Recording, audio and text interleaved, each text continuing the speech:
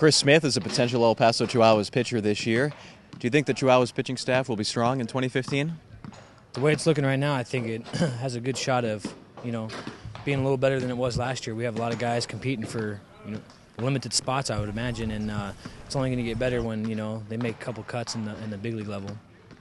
What's it like out here in the backfields of Peoria? Is it hard to keep things interesting when it's a day game every day and there aren't many fans out there in the backfields? Uh, no, we got you know we got Murph back there keeping it keeping it nice and calm and you know loose. So uh, no, it's uh, this schedule I think is more of a routine based.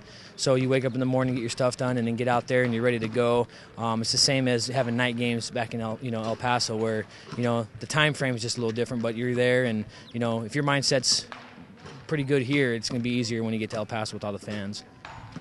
And finally, you mentioned all those fans in El Paso. If it is that you're assigned to the Chihuahuas and you're playing for El Paso in a couple of weeks, would you be excited to come back? Absolutely, yeah. It was it was amazing last year to have uh, those kind of fan support, and the, the, stadium alone was nice. But like I said, the fans coming out on a daily basis makes makes it easier just to show up for the game and get a little more energy in the tank when you have it.